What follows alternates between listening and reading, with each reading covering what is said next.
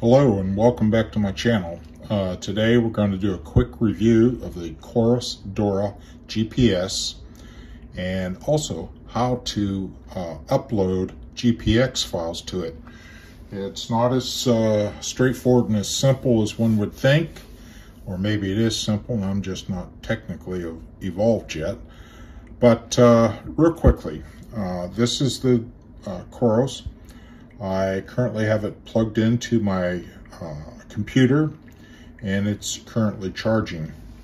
Uh, this, I'm going to unplug it here so I can show you, has a dial on it that will rotate and it tells you what you're looking for, training, cycling, fitness, battery usage, the history, and systems. Just below that, there's a tab.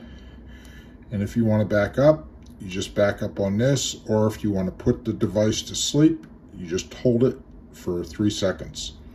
To wake it back up, you simply tap on it, and it's awake. Uh, this worked really well. Uh, my biggest hassle was trying to figure out how to upload GPX files to it. Uh, that really did not come with instructions. I have not found anything on YouTube that was clear. And so I just kind of stumbled through it over and over.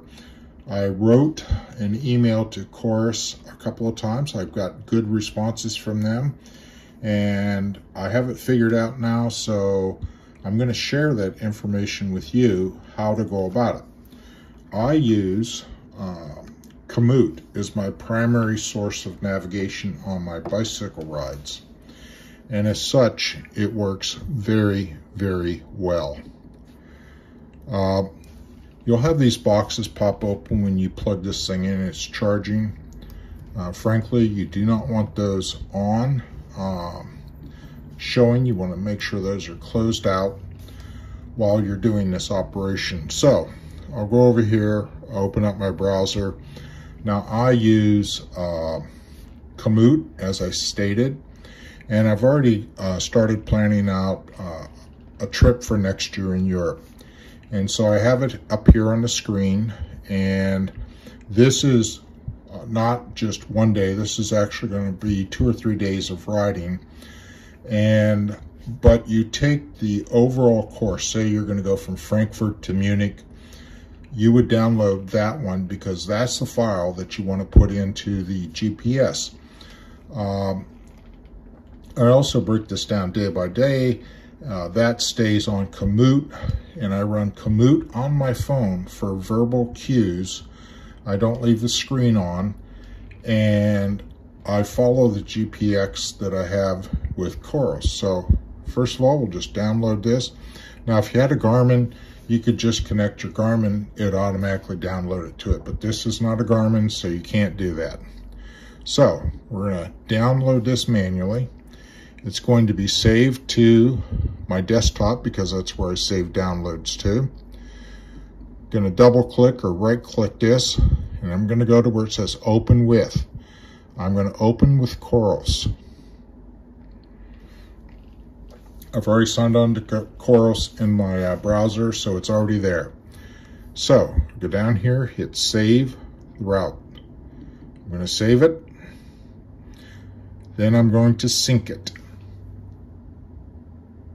and it's synced. It's there.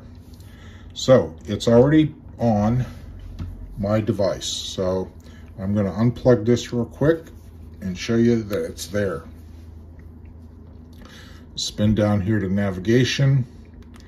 Click on navigation. This is a local ride from Port Townsend, Washington, where I'm currently at. I'm just doing some out and backs.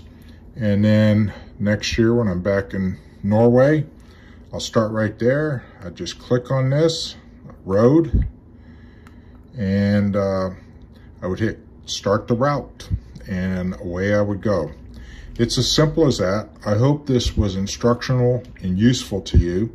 If you like this channel, please hit like, subscribe, and share it. And Semper Fi, and thank you again for watching.